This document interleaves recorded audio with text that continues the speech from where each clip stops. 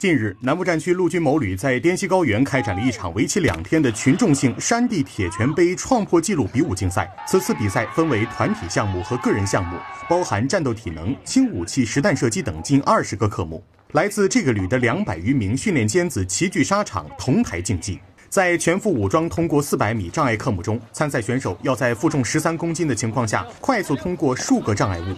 这不仅考验着官兵的战斗素养，同时也对耐力、爆发力和战术技巧提出了更高的要求。开展这样的创破纪录比武竞赛活动，不但锤炼了官兵体能、技能，激发了官兵血性、武器，还挖掘出了一批训练尖子，掀起了旅队以笔促进的训练热潮。